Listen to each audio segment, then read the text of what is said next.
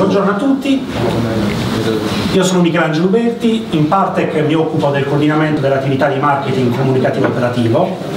Come va detto eh, il buon Marco, eh, siamo il partner di riferimento in Italia per tutta una serie di attività, intanto su MySQL e anche su altre attività del mondo Oracle. Da questo momento in poi parleremo principalmente di Oracle OpenStack e di quello che possiamo fare assieme a MySQL Enterprise Edition. In particolare il tema sarà il Database as a Service, un tema che oggi avrete sentito molte volte in vari eventi. Oggi andremo a vedere un caso specifico d'uso. Nel pomeriggio io adesso vi farò una panoramica del progetto OpenStack, che eh, poi cerchiamo di capire un po' come, come lo conoscete e quanto lo conoscete. Nel pomeriggio il mio collega Daniele invece dimostrerà farà qualche approfondimento e ve lo mostrerà in azione, quindi vi farà capire quanto è semplice realizzare alcune cose e quanto effettivamente, eh, in quanti casi d'uso possono essere utilizzati. Allora, conosciamo rapidamente chi è Partec, per chi già non la conoscesse. Noi siamo un software infrastructure system integrator che ormai da oltre 15 anni, sia su Roma che su Milano, offriamo dei servizi professionali altamente qualificati su vari fronti. Il mondo Oracle è uno di questi, ma non è l'unico. In più creiamo delle soluzioni cross market, dal mondo delle telco alle finance e così via, eh, innovative, almeno dal nostro punto di vista, e tipicamente basate su tecnologie open source, quindi l'integrazione di tecnologie open source, e promuoviamo da sempre anche l'adozione di standard e protocolli aperti. Questo perché siamo convinti che le, le, quello che si può creare, il valore che si può dare su tecnologie aperte sia superiore al, a quello che invece si può fare su tecnologie chiuse, spesso legacy. Il nostro rapporto con Oracle è, è, iniziato sin dalla, eh, dall'acquisizione di Sun Microsystem, ma in realtà noi, eh, come Business Unit di Roma, nasciamo come braccio armato di Sun Microsystem, quindi già nel 1994 eh, l'azienda lavorava assieme. Questo rapporto è proseguito dopo l'acquisizione del 2010, ci siamo specializzati su tante altre tecnologie Oracle, in particolare i database, quindi Oracle Database e MySQL.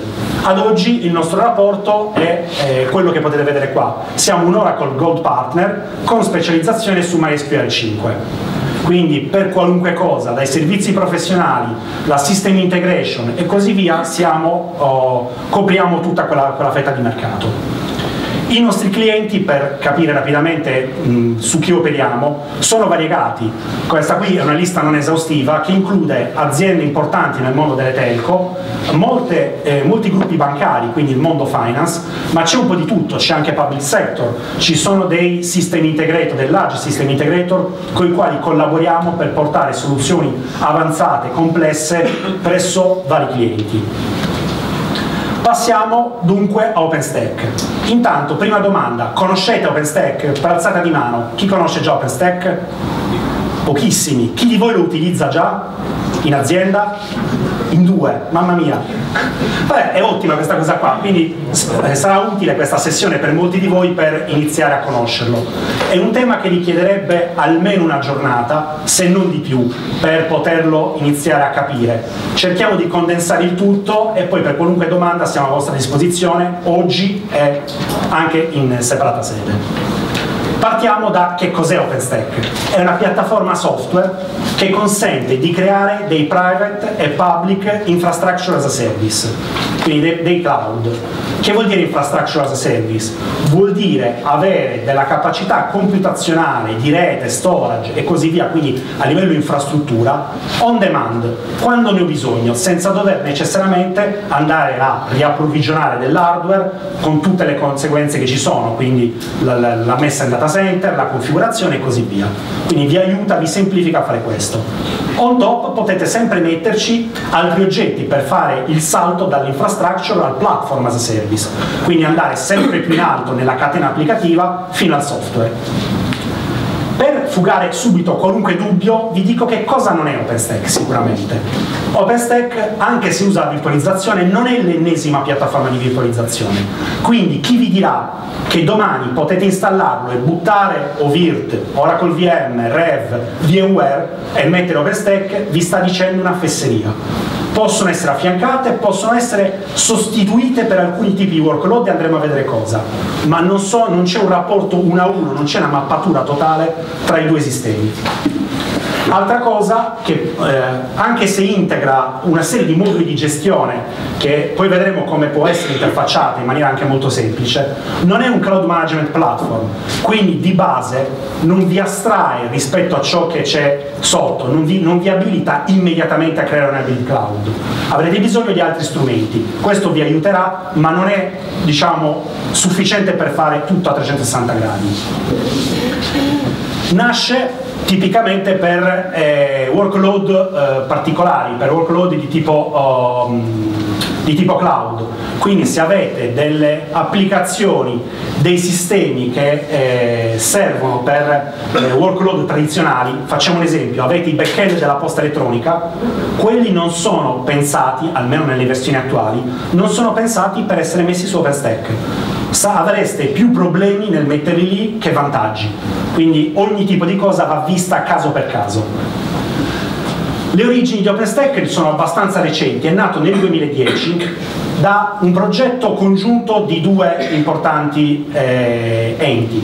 Il primo è la NASA, ne avrete già sentito parlare, mandano la gente sulla Luna già da 50 anni più o meno, nulla di che.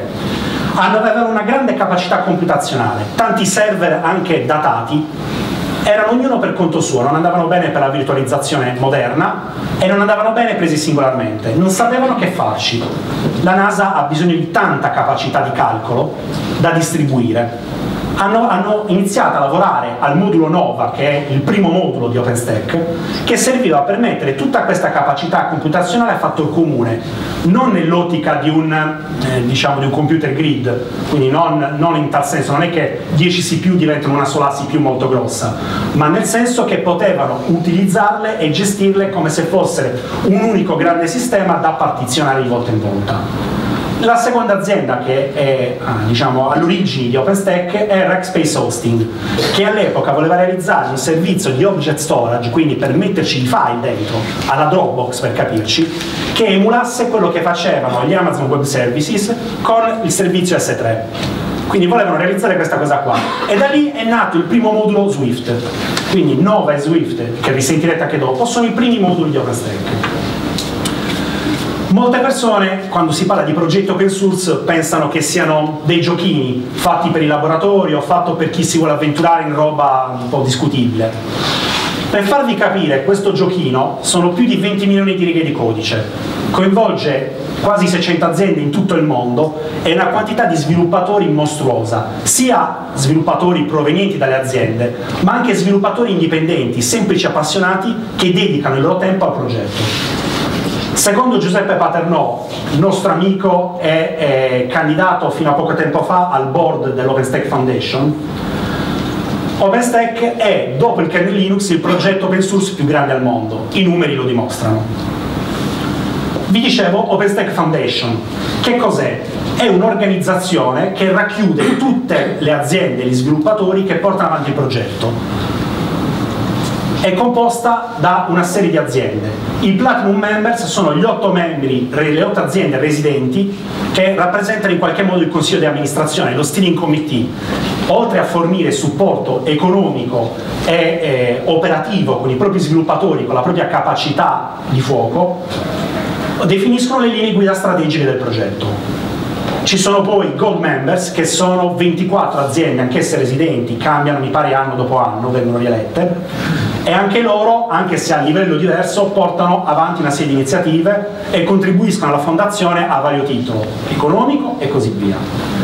Poi ci sono i corporate sponsors, che questa qui ovviamente né sia nel primo caso che nel secondo non è una lista esaustiva, poi nelle slide troverete il link per poter andare a vedere la lista, sono tutti pubblicati sul sito di OpenStack ci sono una pletora di aziende, sono circa 500, sono principalmente vendor hardware e software di tecnologia che eh, contribuiscono a vario titolo al progetto. Questi signori lo fanno per vari motivi. Il primo perché essendo uno dei progetti più importanti a livello comunitario tutti vogliono farne parte. Il secondo è che tutti quanti hanno bisogno, hanno la volontà di rendere i propri software, il proprio hardware compatibile con OpenStack Facciamo un esempio banale. Cisco sta tra i gold members e è stata una delle prime a fornire dei moduli specifici per OpenStack, per il software defined network. Quindi agganciati Cisco Nexus con gli appositi plugin al vostro OpenStack, sostituite il modulo nativo e praticamente avrete tutte le funzioni di network virtualization. Ok? Come vi dicevo è nato nel 2010, è una storia breve ma molto intensa perché inizialmente la, eh, i tempi di rilascio, la cadenza di rilascio era trimestrale. Ogni trimestre c'era un, un, evento dedicato al mondo OpenStack e veniva rilasciata una major release. Questa cosa qua era piuttosto complicata da seguire per i clienti e spesso portava anche a delle parziali riscritture del codice. Questa cosa qua è stata dalla versione Havana aggiustata, siamo passati a una cadenza semestrale e nell'arco di poco tempo siamo arrivati, eh, vanno in ordine alfabetico le versioni, lo vedete, la prima lettera, siamo già alla N, quindi siamo a una versione abbastanza avanzata. Negli ultimi anni c'è stato un boost sullo sviluppo, non solo dei moduli core, della maturità dei moduli core, ma anche dal punto di vista dei moduli opzionali, perché questo contributo fortissimo dato dagli sponsor e dato dai, da, da tutti gli sviluppatori, da tutti i sottoprogetti che sono nati nel frattempo, hanno portato a una pletora di moduli opzionali che si appoggiano sempre ai moduli core, ma ci danno tanto valore aggiunto. Dopo andremo a vedere alcuni di questi. Daniele ve ne mostrerà due in particolare, anzi, ve ne mostrerà uno in particolare in funzione e vedrete quanto ci semplifica la vita in tanti casi d'uso. Per capirci, qua quando trovate il nome delle componenti non è un caso, perché OpenStack di fatto non è un unico progetto, è un umbrella project. Sotto appunto questo ombrello troverete almeno una ventina di progetti, ognuno legato al bravo modulo, col suo team di sviluppo, il team leader e così via. Qual è l'obiettivo che si pone di fatto OpenStack? Oltre, come vi ho detto, a farvi creare un, un public o private infrastructure as a service L'obiettivo è ereditato da quello iniziale della NASA e Space Hosting. Amministrare, gestire grandissime capacità computazionali, di storage, di rete, in un modo molto semplice. Tipicamente tre, attraverso un'interfaccia web-based orientata anche all'utente finale, quindi molto semplice, dove io in modalità self-service posso andare a dire voglio queste macchine così, così, le premo un tasto e partono, oppure attraverso API RESTful, cioè chiamate dei post HTTP molto banali che possono essere chiamati da una o più applicazioni consumati da delle applicazioni e quindi io posso automatizzare tutta una serie di operazioni senza che venga richiesto l'intervento umano. Terzo, terzo modo per accedere, la classica command line interface, che tanto piace ai nostri amministratori, la userebbero per qualunque cosa. Io ho dei colleghi che la usano anche per leggere la posta elettronica, quindi per farvi capire come stiamo messi. L'architettura si vede un po' male sul proiettore, mi dispiace, è molto banale. Abbiamo le applicazioni in alto, queste qua o attraverso le API parlano con i tre moduli core, compute, networking e storage. A questi si agganciano i servizi condivisi di OpenStack. Come dicevo si tratta spesso di servizi opzionali, di cui potremmo anche fare a meno, ma che ci danno del valore aggiunto. Tutto questo sta tipicamente appoggiato a una distribuzione Linux supportata. Ormai quasi tutte le distribuzioni Linux lo supportano, da Oracle Linux, Red Hat, Ubuntu, Fedora, quello che vi pare, ditene una la troverete compatibile e tutto si poggia su hardware standard x86, hardware commodity. E non è come per dire prendete un server nuovo x86 ma anche un vecchio serveraccio. Ci sono tantissime aziende che hanno iniziato a fare incetta di vecchi server mezzo abbandonati sul mercato, su ebay, dove, dovunque li troviate e inzeppare il data center di questi server per riutilizzarli e dargli una nuova vita Tutte le componenti possono essere racchiuse dal mio punto di vista in cinque macro tipologie. Abbiamo compute, che è il cuore dell'infrastruttura, networking, abbiamo le diverse tipologie di storage, Daniele nel pomeriggio vi farà un approfondimento su questi tipi di storage. Abbiamo la dashboard, quindi l'interfaccia web per accedere e fruire di tutti i contenuti e infine abbiamo la pletora di servizi condivisi. Questa è un'altra rappresentazione molto semplice. Come vedete si, si parte dall'hardware commodity, abbiamo le distribuzioni Linux, le tre macro componenti core, poi la dashboard e i componenti condivisi. Vediamoli rapidamente.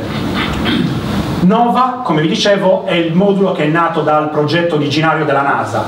È praticamente il modulo che si pone come obiettivo quello di offrire capacità computazionale e soprattutto di offrire i moduli per gestirla usa come default l'hypervisor KVM, che è quello più utilizzato, oltre che più performante, ma più utilizzato nel mondo Linux, ma è agnostico da questo punto di vista rispetto all'hypervisor, perché può usare Microsoft Hyper-V, può agganciarsi attraverso gli appositi driver a VMware SX, quindi come vi dicevo possono coesistere, non c'è una guerra tra le due fazioni, può utilizzare Linux containers, anche Docker, quindi anziché far partire istanze fa partire container e attraverso un modulo che si chiama Ironic può far partire nuove macchine, può deployare a sua volta nuovi hypervisor.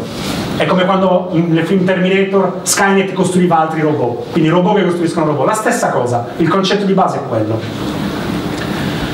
La parte neutron invece è la componente che gestisce le, tutta, tutta, la, la, scusate, tutta la rete virtualizzata sia a livello 2 per far parlare le macchine tra di loro che a livello 3 per parlare anche verso il mondo esterno offre cosa? Offre di tutto, dal banale DHCP, gestione degli IP virtuali, gestione degli IP statici, al firewall as a service, basato ovviamente su IP tables, al load balancer as a service e così via. Sono nati poi una serie di altri moduli che si agganciano a Neutron e offrono DNS as a service, eccetera. Praticamente solo con questo software potreste risolvere tutte le esigenze di un data center di dimensioni modeste. Ovviamente supportando OpenFlow può agganciarsi a tutti quegli strumenti offerti da vendor che sono sponsor del progetto e hanno rilasciato del, dei driver, degli apparati adatti. Pensiamo ai Cisco Nexus, gli Alcatel Nuage, i bilanciatori IF5 e BGP si possono agganciare nativamente a OpenStack e voi attraverso dashboard, Horizon, attraverso l'API, attraverso la linea di comando potete pilotare tutti questi oggetti. Quindi voi potete gestire l'intera infrastruttura in questo modo. Ci sono tre tipologie di storage che incontriamo. Abbiamo il block storage, che altro non è che classic, sono i classici volumi a blocchi, che di solito ci vengono esportati via NFS, Iscasi, una, una Sun in Fiber Channel e così via può utilizzare come backend un software defined storage di quelli di nuova generazione, GlassFS, Ceph e così via, oppure può agganciarsi a degli storage array tradizionali che magari sono, supportano già OpenStack e offrono già i moduli nativi. Quindi potremmo avere un IBM Storewise, per esempio, che si aggancia direttamente a OpenStack L'object storage, come vi dicevo, è una delle eredità del primo core di progetto OpenStack realizzato da Rackspace Hosting e portato avanti oggi da una comunità ben più ampia. Serve appunto per fornire spazio su oggetti eh, tipo file. Quindi potrebbero essere i file MP3 utilizzati da Pandora, da Spotify per darvi il servizio musicale, potrebbero essere i film che, usa, che vedete su Netflix, potrebbero essere tranquillamente le bollette emesse da AC Energia per tutti i propri utenti e posizionateli sopra anziché su un più costoso volume classico. Daniele vi spiegherà quali sono i pro e i contro e quali sono i tipici casi d'uso di ognuno di questi oggetti. Abbiamo poi il, il, servizio per la gestione delle immagini, alcuni lo mettono nei servizi condivisi, io lo preferisco mettere qua perché comunque sia è un front-end per lo storage. Tutto ciò che sono le immagini, i template che userete per creare nuove istanze, rivengono interfacciati da questo, risiederanno comunque su Swift ma vengono interfacciati da Glance. Anche gli snapshot, i backup che farete di quelle macchine finiranno lì.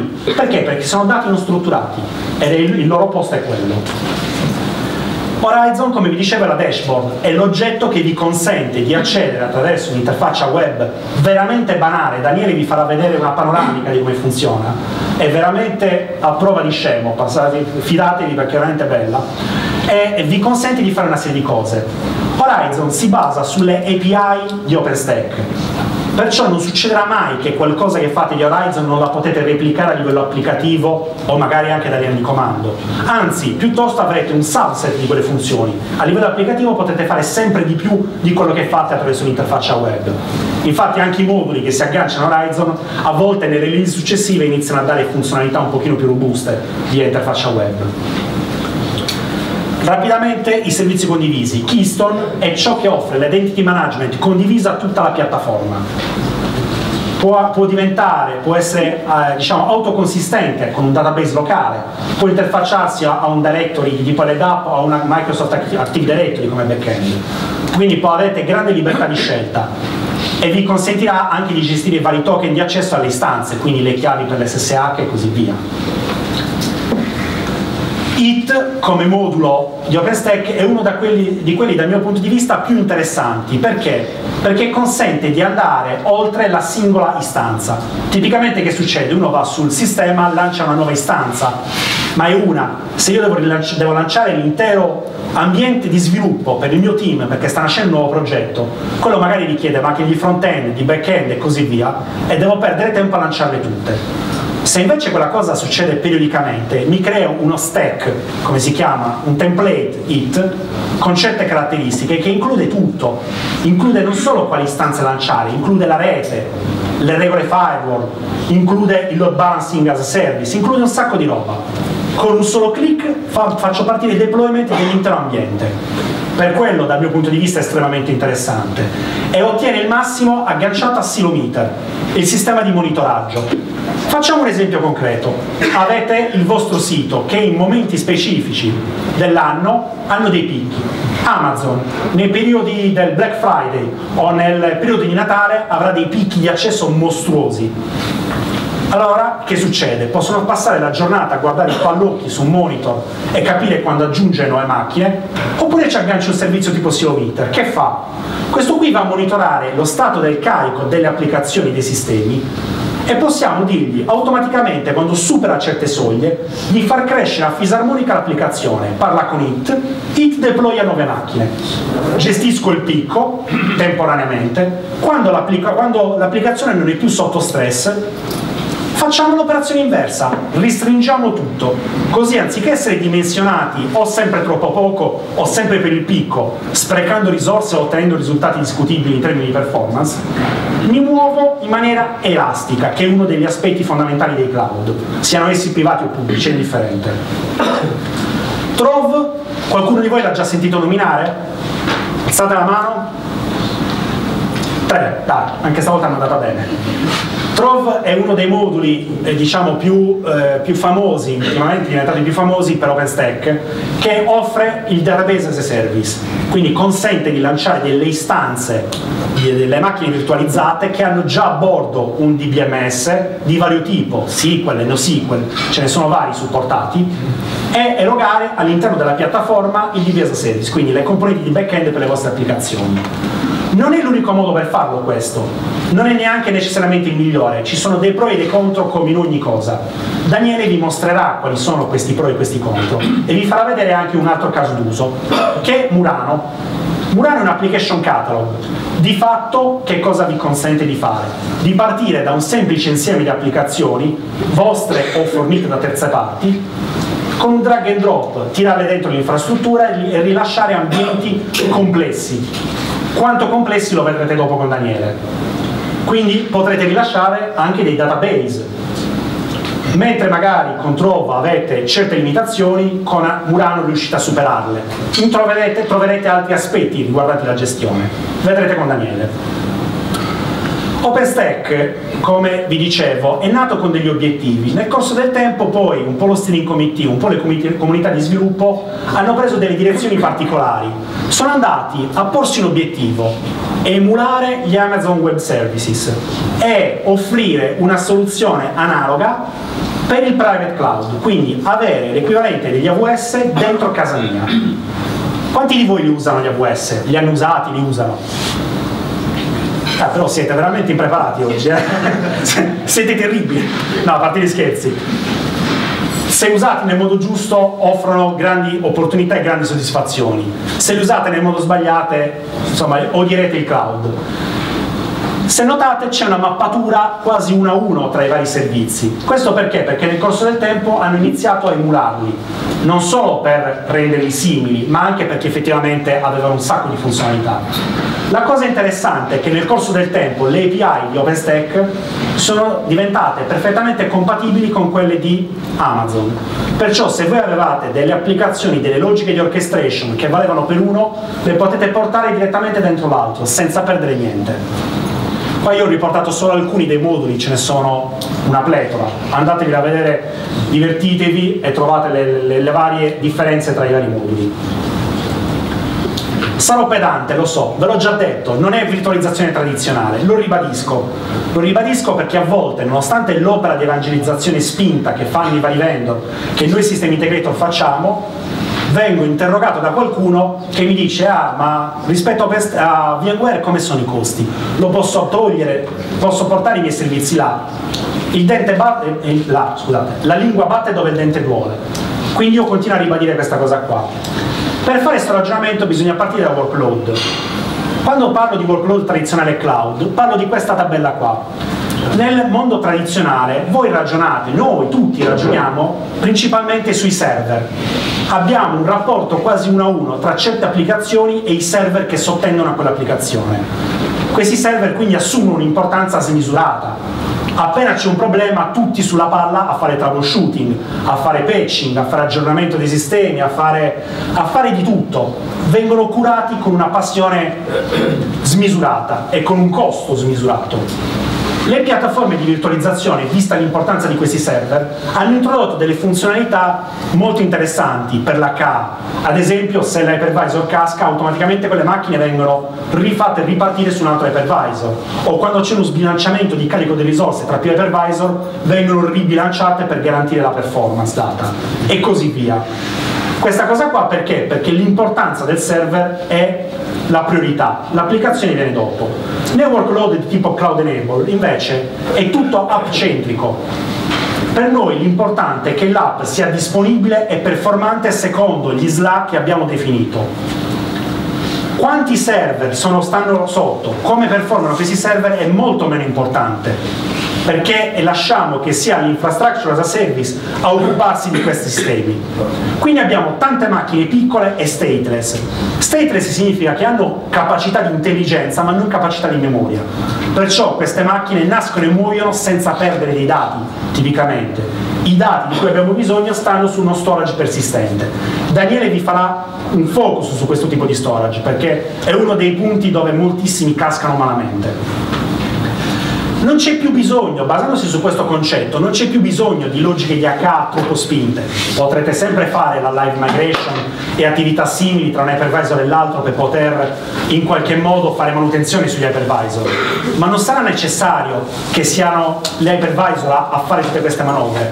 Perché se casca un hypervisor che sta facendo girare 10 istanze, non c'è problema, le possiamo tranquillamente lasciare morire. Ci mettiamo molto meno tempo a farle ripartire in automatico con IT, con Silo Con tutti i moduli, con tutte le funzionalità che ci vengono date, che cercare di andare a fare troubleshooting su quelle che sono morte.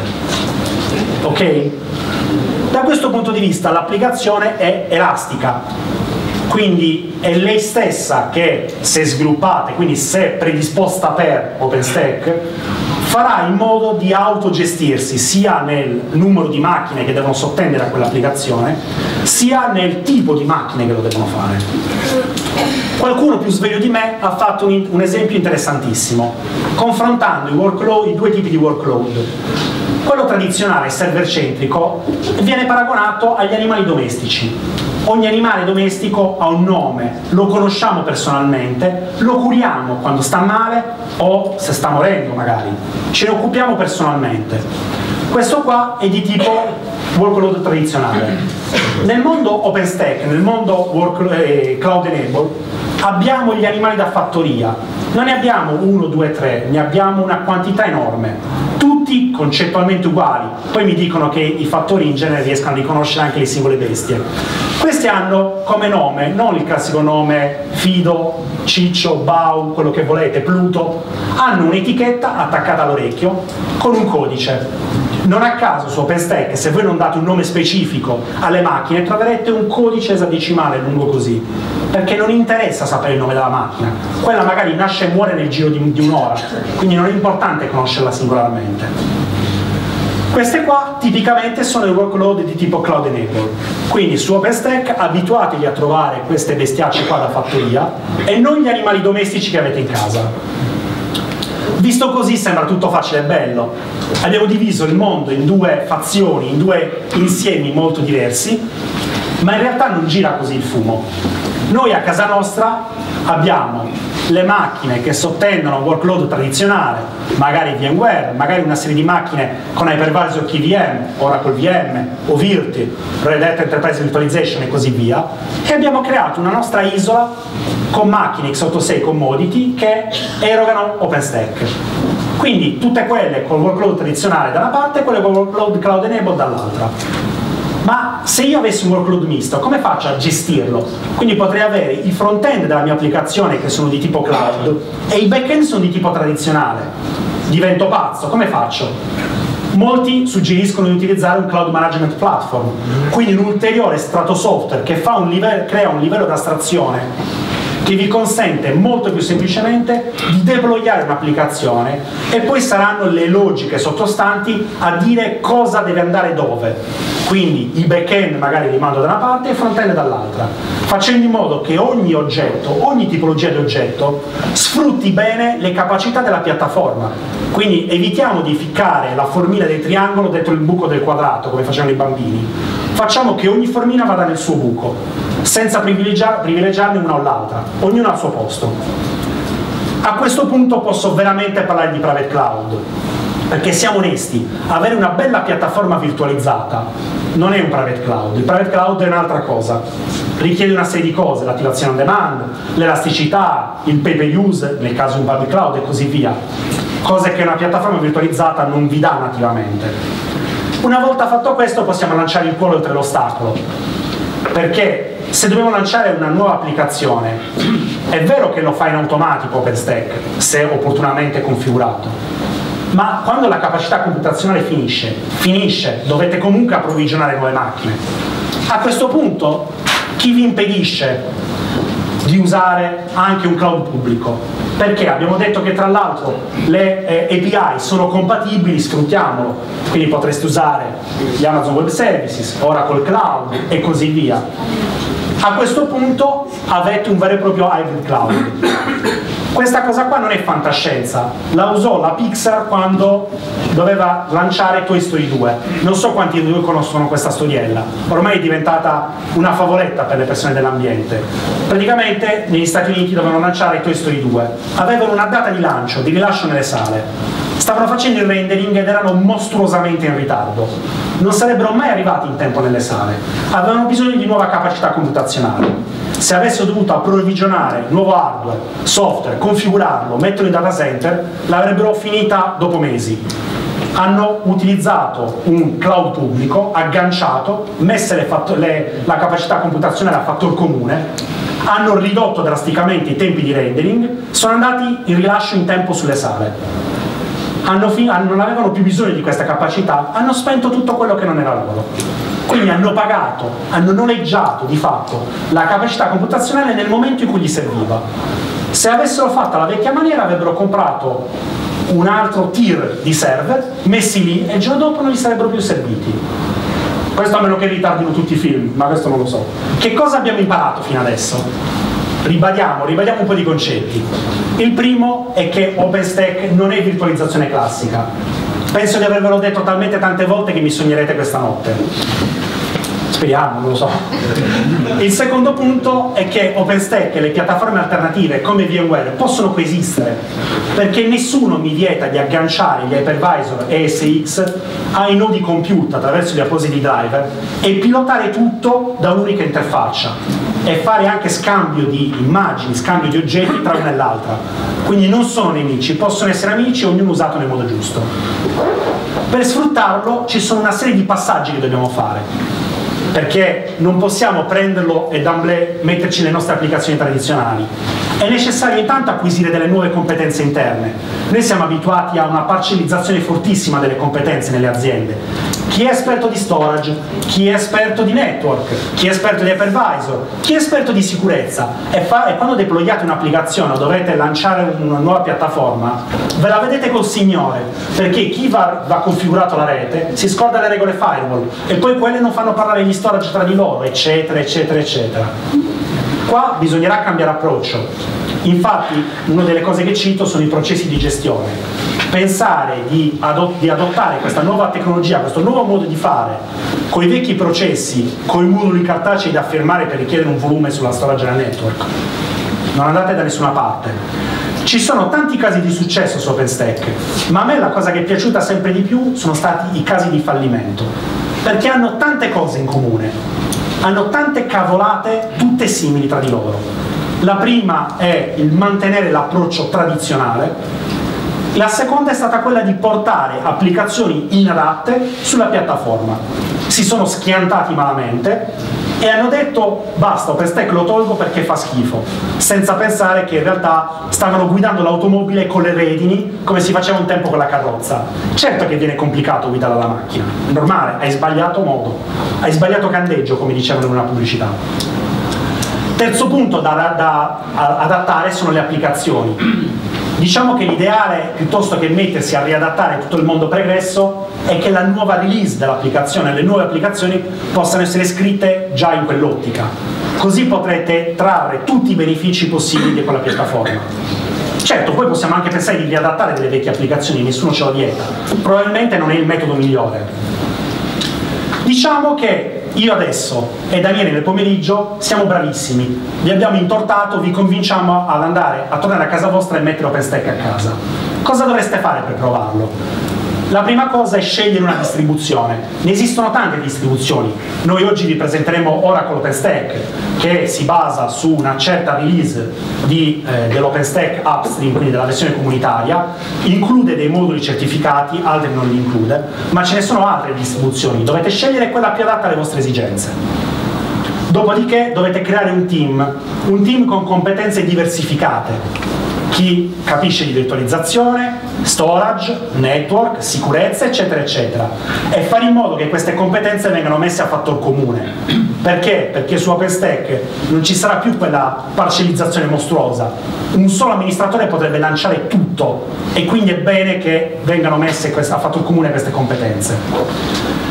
Terzo punto, identificare la o le applicazioni che volete portare, quelle più adatte. Non vi dico di portare SAP lì sopra, non dico di portare la piattaforma di posta elettronica, Exchange Server, sarebbe un suicidio, ma magari le applicazioni che stanno uh, uh, sul sulla vostra area web, potrebbe essere anche un sito di e-commerce, quello che vi pare, possono girare qua sopra, con più o meno degli adattamenti, in alcuni casi banalissimi, in altri un po' più corposi. Oppure potreste decidere che il nuovo progetto, la nuova applicazione, la potete fare direttamente in quest'ottica. Quarto punto, avviare un pilot. Non vi parlo di un proof of concept dove si va ad andare a vedere sul campo come funziona una certa cosa in un caso specifico, ma avviare un pilota, quindi scontrarvi, sbattere il muso su questa nuova piattaforma. Se vi ricordate, quando siamo passati dai server tradizionali, hardware, alle piattaforme virtualizzate, all'inizio abbiamo fatto una quantità di cavolate mostruose. Sono stati fatti errori, certe cose le abbiamo imparate, le piattaforme si sono evolute nel corso del tempo, un po' sopperendo a quegli errori, un po' offrendo nuove funzionalità. Questo è un altro cambio generazionale, quindi voi non potete pensare che dall'oggi a domani sarà tutto magicamente risolto. Ci vorrà del tempo e l'unico modo è testarlo sul campo. Nessun corso di formazione sarà sufficiente. Vediamo un esempio di chi ce l'ha fatta. Vi ho parlato di, degli errori che hanno fatto chi non ce l'ha fatta. C'è un signore, forse lo conoscerete, PayPal, gestisce quattro transazioni più o meno l'anno, ha detto qualcosa anche, anche Marco. Loro hanno concluso circa un anno fa un processo di migrazione, ma in realtà è di riadattamento, migrazione non mi piace come, come termine, e hanno iniziato a usare OpenStack in maniera pesante. Vediamo un po' di numeri per capire di che stiamo parlando, sempre per farvi notare che quei progettini open source da laboratorio, da, da fricchettoni, da, da gente anticonformista, non sono esattamente così come li dipingono. Hanno messo più di tre anni per fare questo progetto. Hanno iniziato quindi da una versione di OpenStack che era molto meno matura di quella attuale. Pensate quante difficoltà hanno dovuto affrontare. Hanno migrato più di 4.000 server e questa è solo l'area PayPal. Tutto il gruppo eBay ne ha migrato tipo 12.000 server x86 commodity, quindi dal serveraccio scassone vecchio fino a quello magari più performante recente. Un po' di tutto. Il loro slot target era a 6.9 Prima il buon Marco ha parlato dei 5-9 che raggiunge MySQL Cluster. 5-9 sono 5 minuti e 30 secondi in un anno di disservizio, 5 minuti e 30, sia esso programmato o non programmato, indifferente. 6-9 sono 36 secondi mi pare. Voi fate uno sternuto, vi soffiate il naso, finito. Da qui alla fine anno non fate più disservizi. Quindi pensate, è roba che funziona questa, non sono scherzi. Il 100% delle applicazioni web sono state migrate su OpenStack e l'hypervisor più utilizzato è KVM, un po' perché è quello di default, un po' perché è quello più performante. Loro provenivano principalmente da VMware, che non è stata abbandonata, ha ancora un ruolo all'interno dell'infrastruttura. La usano principalmente per tutto ciò che ha un workload di tipo tradizionale. Siamo tornati a bomba, come vedete, chi c'è già passato l'ha capita sta cosa qua ogni cosa deve girare nel posto giusto. Per trasportare i mattoni usereste un camion, per trasportare la famiglia usereste una station wagon, una monovolume, quello che volete, e non viceversa, a meno che magari vivete un paese in cui il camion lo usate per tutto, o, o viceversa. Quindi questo è il tipo di approccio giusto. Secondo un portavoce di PayPal, tutto questo bagno di sangue di tre anni è stato fatto per guadagnare in agilità, in elasticità e magari ridurre anche i costi e tutta questa roba funziona. Non so quanti di voi utilizzano PayPal abitualmente, io non ho mai ho avuto un disservizio, mai, da che ho iniziato a usarlo durante questa migrazione e oggi che stanno già su OpenStack. Sarò fortunato io, non lo so. Qualcuno di voi ha mai avuto un disservizio? Funziona. Concludo e poi vi libero per il pranzo. A quel punto poi vi sarà Daniele a monopolizzarvi il pomeriggio. Noi come sistema integrator, come Oracle Gold Partner, offriamo vari tipi di servizi, sia sul mondo OpenStack e in particolare quello Oracle, sia su MySQL, la community, ma ovviamente l'Enterprise Edition. OpenStack, come vi ho detto, può fare paura, può fare paura perché ci sono tante competenze da acquisire, tante cose da fare. Noi stiamo supportando anche uno dei principali service provider in Italia ad adottare OpenStack. Che tipo di lavoro stiamo facendo? Lo stiamo aiutando sia nella fase pre-adozione, quindi aiutando ad acquisire la mentalità giusta, a identificare le applicazioni, a identificare il team, a capire tutti i pro e i contro, li stiamo aiutando a fare il deployment di queste piattaforme nel loro ambiente di produzione. Ovviamente si parte da un'isola che pian piano crescerà. Stiamo già pensando ad alcuni servizi che andranno messi on top a OpenStack e stiamo pensando a come integrarlo alle loro piattaforme preesistenti, dalla fatturazione, il delivery, il support, le operations e così via. Dopodiché, una volta completato il progetto, li aiuteremo nella manutenzione ordinaria e straordinaria della piattaforma, perché poi è bellissimo OpenStack, ma non è che camperà da solo tutta la vita, avrà bisogno di essere gestito. Per quanto riguarda MySQL, abbiamo da tempo avviato una campagna per spingere i clienti che ancora non l'hanno fatto ad adottare l'Enterprise Edition. Perché l'Enterprise Edition è bella, ve l'ha detto Marco, non ve lo ridico un'altra volta. Farete un altro evento e ve lo ridiranno, e ve lo ridirà anche Luca, peggio per voi. Io non ve lo dirò. Vi dico quali sono le offerte che abbiamo pensato. La prima è l'Adoption Pack, è un bundle che include una licenza MySQL Enterprise Edition a un prezzo scontato e un pacchetto di servizi professionali nostri che vi aiutano a fare il primo setup e a renderla operativa. Se invece già avete una piattaforma alternativa o provenite dalla Community Edition, potete usare il Migration Pack, che include sempre un bundle con la licenza a un prezzo vantaggioso e delle dei servizi professionali a delle tariffe personalizzate. Si parte da un assessment per capire qual è lo scenario, quali sono gli obiettivi della migrazione e poi la realizzazione della migrazione stessa. In associazione a questi due pacchetti c'è il Support Pack, che può includere sia i servizi di supporto on-site, da remoto, anche H24 volendo, in base alle vostre esigenze, ai vostri SLA, al tipo di applicazioni che girano su MySQL, e i servizi di formazione, sia semplicemente per formare il vostro personale nella gestione, nella fruizione di MySQL, sia propedeutici ai percorsi di certificazione ufficiali Oracle. Quindi vi invito nel, a vedere le brochure, i flyer che trovate dentro la, il package che vi abbiamo dato. Siamo qua durante tutto l'evento, ci riconoscerete dal, dalla camicia col logo. Se non riuscite a parlarci qua potete contattarci quando volete. E a questo punto io vi auguro buon pranzo e buon divertimento dopo con Daniele. Grazie a tutti.